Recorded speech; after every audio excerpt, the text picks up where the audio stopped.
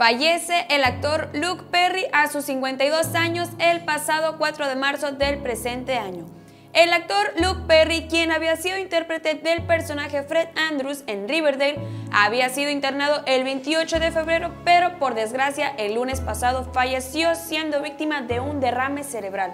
Además de ser actor en la serie Riverdale, también había sido conocido por su papel en Beverly Hills 90210 en su lecho de muerte estaba acompañado en gran parte por su familia, hasta su ex esposa Minnie Sharp lo acompañaba. La familia aprecia las muestras de apoyo y las oraciones que se han extendido para Luke desde todo el mundo y solicita respetuosamente la privacidad en este momento de gran luto. No se darán a conocer más detalles en este momento, dijo en un comunicado el representante. Una tragedia en el mundo de los espectáculos, sin duda sufrimos cuando casi muere en la serie Riverdale por su personaje tan adorable, ahora lamentaremos su ausencia en esta vida terrenal. Que en paz descanse Luke Perry. Mi nombre es Jimena Cermeño, esto es Inciso 1.